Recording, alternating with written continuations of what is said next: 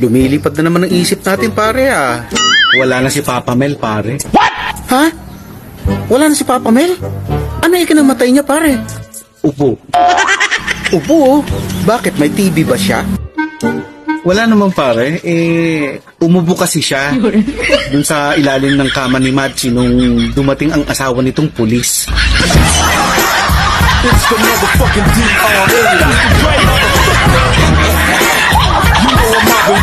double G.